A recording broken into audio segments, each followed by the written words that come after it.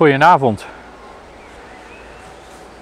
In deze avondgedachte wil ik aansluiten bij de tekst van een lied. Een lied uit het liedboek dat ik hier bij me heb, Zingen en bidden in huis en kerk. Ik vind dat lied eigenlijk best toepasselijk omdat eindelijk gelukkig de coronaregels voorzichtig iets versoepeld kunnen worden. Voor de kerkgemeenschap in Nederland betekent dat dat het stap voor stap langzaamaan weer mogelijk wordt om elkaar te gaan ontmoeten. Ook in kerkdiensten. Eerst met maximaal 30 mensen, maar het is in elk geval een beginnetje. En daar hebben we met z'n allen best wel naar uitgekeken.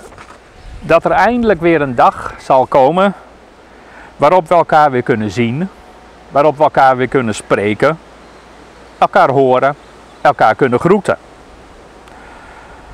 Ons lied dat ik zo dadelijk ga lezen heeft het daar ook over, over samen zijn. En dat lied dat denkt daarbij zelfs nog een stapje verder. Samen aan één tafel. Want dat is zo belangrijk vanaf het begin. Jezus zit samen met zijn vrienden rond een tafel en ze zijn één. En daar is iets heel bijzonders mee, denk ik. Die vrienden die zijn niet één omdat ze elkaar heel zorgvuldig hebben uitgezocht, zo van jij wel en jij niet.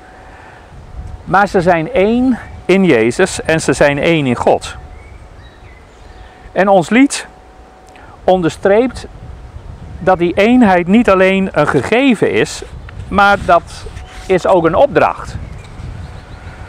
Het is niet goed als mensen elkaar op deze wereld in hokjes stoppen.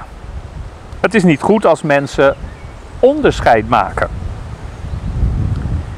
Deze week wordt er op veel plaatsen over de hele wereld gedemonstreerd tegen discriminatie.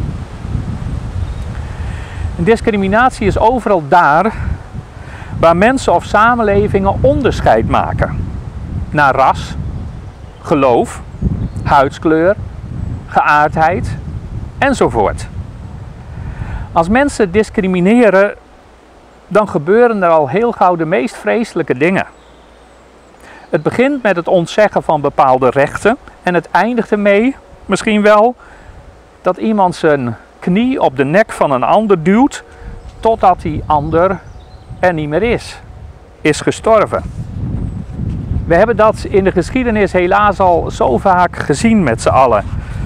En nog steeds is dat de wereld niet uit. En dat is onverdraaglijk.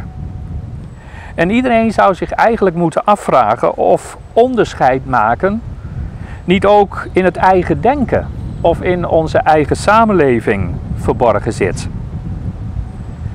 Paulus, een kleine 2000 jaar geleden, schrijft al: In Christus is er geen onderscheid, maar zijn we allemaal broeders en zusters, vrienden, kinderen van dezelfde Vader. Althans, zo hoort het te zijn. En dat allemaal klinkt ook glashelder door in dat lied met die mooie, lichtvoetige, blije melodie waarvan ik nu de tekst voor u zal voorlezen. Voor ieder van ons een plaats aan de tafel. Voor ieder van ons schoon water en brood. Een veilige plek. Een plaats om te schuilen. Een plaats in Gods licht als tafelgenoot. Vol vreugde ziet God naar mensen die recht doen. Zij scheppen geluk. Vol vreugde ziet God naar mensen die recht doen. Zij scheppen recht en geluk. Ik wens u nog een hele goede avond en een goede nacht straks.